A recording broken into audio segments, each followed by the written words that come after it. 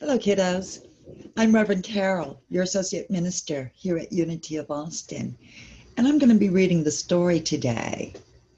You know, our last two lessons uh, were about the path of Jesus and how lead, that leads us to experience sacred community and our own natural inner joy.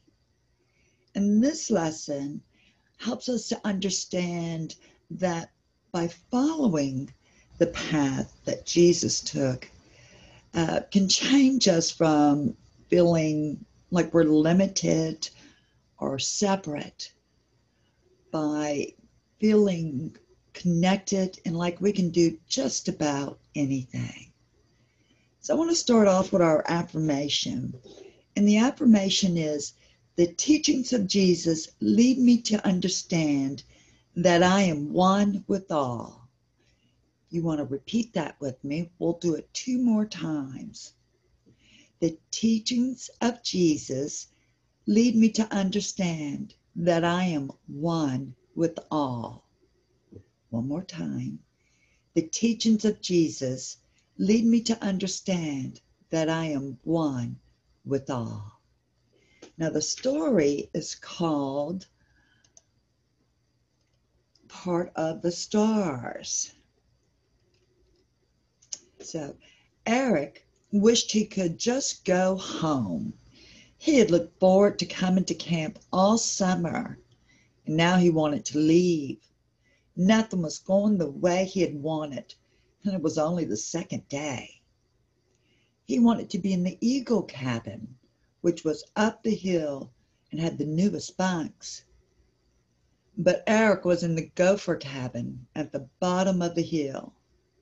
The campers in Go- gopher cabin had the longest walk to the dining hall and to the bathrooms. He didn't get a top bunk either. He was stuck in a lower bunk in the corner. On top of that, None of the kids in his cabin were from his church or his school. They were all strangers. The cabin leader seemed like a nice guy, but he was soft spoken and a bit older than the other counselors. His camp name was Silent Sam. Eric thought Silent Sam was kind of boring compared to the other leaders who had nicknames like grizzly and crazy coyote. Today, Sam had them on a long hike along the river. Eric had lost his whistle. When they got back, dinner turned out to be vegetable soup instead of uh, the spaghetti he was looking forward to. As Eric sat on his bunk before going to bed, he really just wanted to go home when everyone was in their sleeping bag, Silent Sam made an announcement. Tonight, there's supposed to be a meteor shower, which would be really cool to see, but it won't happen till about 2 a.m. in the morning. So get some sleep, and I'll wake you when it's time. We will walk out to the meadow for the best view. Everyone dress warmly and leave your flashlights in the cabin. One more thing. We will all stay quiet during the whole thing. No talking. Eric thought a meteor shower might be a neat thing to see, but walking on outside in the dark sounded scary, not fun. He fell asleep quickly, and the next thing he knew, Sam was waking him up. All the boys got dressed in the dark. Eric put on his thick socks, warm sweatshirt, and jeans. A couple of the boys began whispering, and Sam silently reminded them about keeping quiet. Then he led them all outside. The other cabins were dark, and there were no other kids around.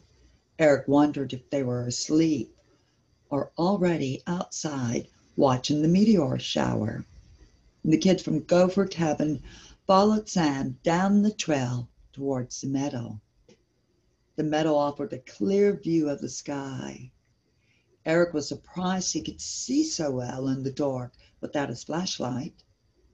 The half moon was shining down, and there were millions of stars. Other kids and leaders were spread out over the big meadow, but everyone was keeping very quiet. Sam motioned to the gopher cabin group to lie down on the grass close to him. Eric could sense something different about Silent Sam. He seemed excited, but very calm, and his smile was kind. The grass was cool, but Eric's sweatshirt kept him warm. As he looked up, as he looked up at the sky full of stars, he felt happy for the first time since camp started. He was glad they weren't allowed to talk. Eric could feel all the kids who were sharing the night's adventure, and it seemed more friendly somehow to be silent together.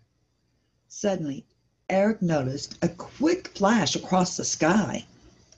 A shooting star. Scientists call them meteors, but Eric preferred the name shooting star. Then there was a couple of more and then several more. Eric didn't want to blink. He didn't want to miss any. He heard several kids gasp, wow, but they quickly became quiet again. It lasted a couple of hours. The meteors just kept coming. They flashed a bright streak of light and then disappeared, only to have several more appear. Eric felt like he was flying through space with them. His body felt connected to the earth, but his heart felt like it was with the shooting stars. He wasn't sleepy at all. In fact, he felt wide awake and energized. Eric was aware of the awe and wonder of all the other kids and leaders there. It was as if all their bodies were connected through the earth and their hearts were all together in space with the stars, shining brilliant star shine. It didn't matter who was in which cabin or who was friends with whom. Busy activities of the day seemed like a dream, and the night and the stars were more important and more real. The shooting stars gradually stopped, and Silent Sam tapped Eric on the shoulder. He reluctantly got up with the other kids and walked toward the cabin behind Sam. He didn't want to look down at the trail. He wanted to keep looking up at the stars forever. When they got back to the cabin, Sam silently directed them to get back into their bunks and Eric gazed out on the window at the stars for a long time before he fell asleep, knowing tomorrow would be a better day. Hmm. Have you ever seen a shooting star? I have. It's been a long time. Do you like to go out and look up at the stars? on a clear night, you can see a whole bunch of them. And if you drive out away from the city, out in the country, you can see a whole lot of shooting stars. And you know, that same star that you're seeing shining above those millions of stars, someone else maybe is probably seeing those same stars, whether they're across town or across the state or across the country. We're all connected. I hope you enjoyed the story and the background with all the millions of stars. We really miss you here, all of your YFM teachers and I, and we hope you are doing really well. So that's it for this morning, and I'll ask you to join me in closing with our prayer for protection. The light of God surrounds us. The love of God enfolds us. The power of God protects us, and the presence of God watches over us.